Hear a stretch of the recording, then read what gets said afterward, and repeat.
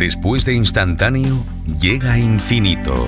El escritor Marc Pérez nos trae Infinito, la segunda y última entrega de esta aventura en la que Lola, Martín y Manuel Alcázar deberán cooperar para cerrar una herida que se abrió nada más y nada menos 20 años atrás.